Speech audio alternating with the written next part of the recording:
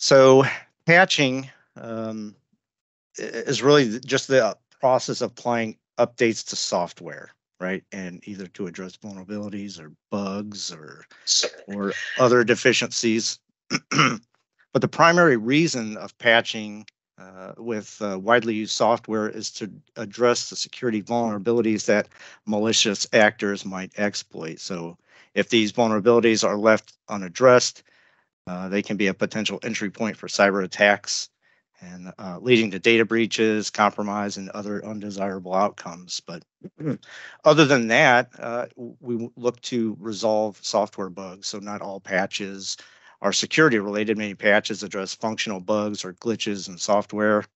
Uh, um, we look to ensure that the software performs as intended, you know, without crash, crashing or uh, producing errors. Uh, we also look to improve software functionality, so patches can introduce new features or improve existing ones. Uh, so it's uh, enhancing these uh, software's overall functionality or performance.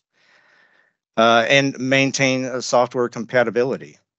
Um, software systems evolve, patches may be necessary to maintain interoper interoperability between uh, newer versions or newer technologies. So uh, there's many ways that you can go uh, for patching, right? It, it, can be manual or it can be fully automated. Uh, and you know what the automation right is to apply those patches without too much uh, user frustration or inter intervention, right? But that timely patch management that's that's the critical part right is we don't want to let those either vulnerabilities or bugs to hang out there where someone can take uh, advantage of those uh, vulnerabilities. So i wanted to throw some stats out here uh, just to kind of drive this home but um, uh, uh, according to the Ponemon Institute, 60% uh, of breach victims uh, so they were breached due to an unpatched known vulnerability where the patch was not applied. However, 62% claimed that they weren't even aware that the organization's uh, vulnerabilities uh, were there before the breach. And according to EdgeScan, the average time uh, to remediate internet facing vulnerabilities was 57.5 days. Slight improvement over the prior year, which was 60.3. Uh, so that varies from one industry to another, though. Uh, so uh, public administrators, uh, for instance, had a MTTR of 92 days, where healthcare organizations had a MTTR of just 44 days. But the data shows that the smaller an organization is, the uh, more quickly uh, they tend to recover.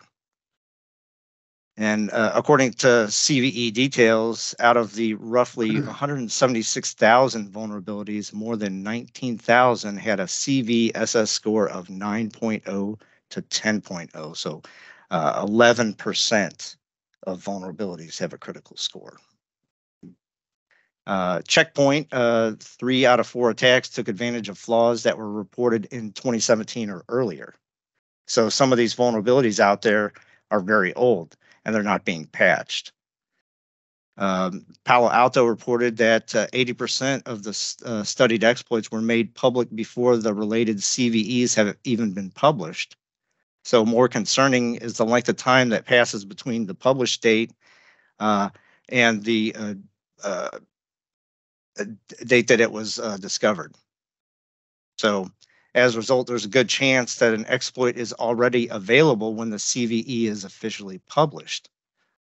So the attackers are kind of one step ahead of uh, the security professionals. And um,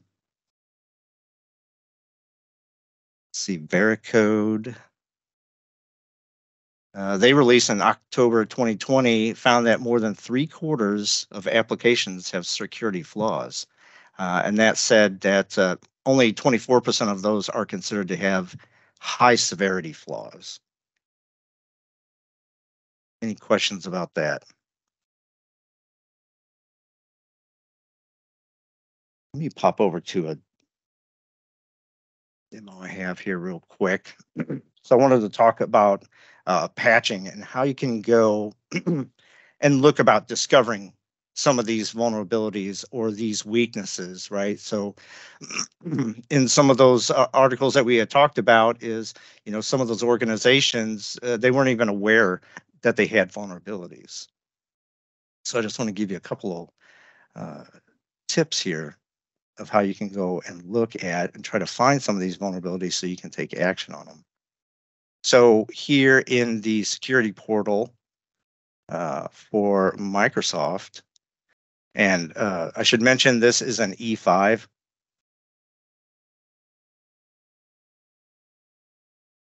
And under endpoints, weaknesses, Microsoft gives you a nice list of all these CVEs uh, here. and you can look and see, so by date, we've got mediums, we've got a high here, and this is based off of Edge Chromium. And even though that this tenant is quite small, I only have one device in here, you can see that uh, automatically uh, the Defender suite here is exposing what type of weaknesses and how many devices we have that could be vulnerable to that. Now, maybe uh, you can see here that there's no known public exploit available for this, and maybe that's a way that we would start to filter this to see if there were known public exploits that we would prioritize those. So let me pop in here on this one here. So threat insights, there's no public exploit, there's no exploit kit, has not been verified. However, we can start to get a list of all the devices that either need a patch or some other type of remediation for that weakness. So going back to uh, our statement earlier, where organizations aren't aware of what vulnerabilities are out there, Microsoft has a tool right here that's going to surface all those vulnerabilities and what systems they are on. That will help us prioritize how we go about uh, finding vulnerabilities and then patching those. So you know, having that robust patch management process with a very quick uh, MTTR is what is going to help your organization stay secure.